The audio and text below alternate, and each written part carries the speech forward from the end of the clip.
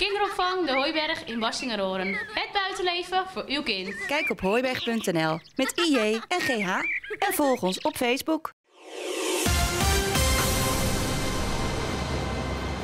willen dit al langer, maar we hebben eerst een ander programma gekozen. Maar we sluiten nu ook echt aan bij uh, JOK. De gemeente Hollands Kroon gaat zich volop inzetten voor een gezonde leefomgeving voor jongeren. Dat doen ze met het project JOG, Jongeren op Gezond Gewicht. Donderdagmiddag was het digitale startschot. In de gemeente Schagen loopt het JOG-project al zo'n jaar of zes. Hollands Kroon had eerder voor een ander project gekozen, maar sluit zich nu toch aan bij Jog. Wij hebben eerst uh, voor een ander programma Lekker in je lijf. Uh, maar dat gaan, dan ga je echt al kinderen met overgewicht behandelen. Dus dat is niet preventief. En um, nou, dat hebben we eerst een paar jaar gedaan. En ja, toch uiteindelijk besloten van nee, weet je, je moet ook aan de voorkant al wat gaan doen. Dus veel preventie, waardoor je voorkomt dat kinderen al te zwaar worden. En daarom sluiten we nu aan. Een beetje laat, maar beter laat dan ooit. Kunt u kort nog eens vertellen wat JOG in uw gemeente gaat worden? Ja, wij gaan hem heel breed aanpakken. We hebben een, uh, een projectleider, die delen we trouwens met de overige gemeenten, waar dit natuurlijk ook al uh, een programma is. Uh, wat we willen is samen met onderwijs en met, ja, ook liefst met de ouders, hè, zorgen dat kinderen bijvoorbeeld water drinken, gezonde groenten eten, dat dat normaal gaat worden, buiten spelen.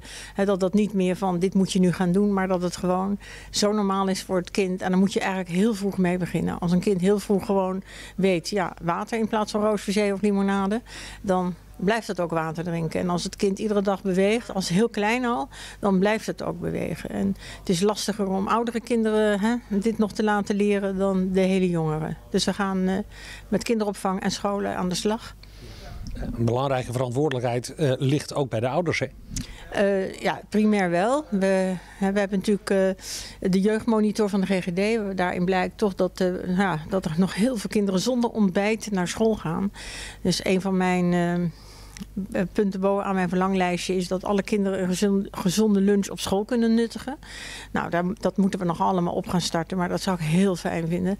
En watertappunten hè, bij scholen en ook uh, ja, misschien in de dorpen. Uh, dat zou ik ook willen. Maar je moet met je, ja, inderdaad, het begint thuis. En school, daar zitten ze toch gemiddeld zes uur per dag. Daar kan je ook een hele grote bijdrage aan leveren. Wanneer is het project zoals het nu ligt geslaagd? De gemeentes die al wat langer uh, meedoen, daar zie je dus een, een afname van het kinderen met, uh, met overgewicht met 32 procent. Dus als wij over een paar jaar zeggen, we hebben 30 procent minder kinderen met overgewicht, dan ben ik heel erg blij. Ja. Goed, vandaag uh, de aftrap. Uh, straks uh, moeten scholen ermee aan de gang. Het is ook wel een beetje een lastige tijd, hè? coronatijd, om zo'n project te starten. Nou ja, we hebben het al even uitgesteld vanwege corona, want we zouden al eerder mee gaan doen. Maar ja, nu doen we toch maar digitale aftrap, want uh, het is zo belangrijk. En ja, de lagere scholen zijn al begonnen, kinderdagverblijven die zijn weer open. Uh, dus je moet beginnen en we beginnen gewoon. En we zien wel van wat we nu kunnen doen en wat we uitstellen tot later. Maar in principe kunnen we gewoon beginnen. Succes met het project. Dankjewel.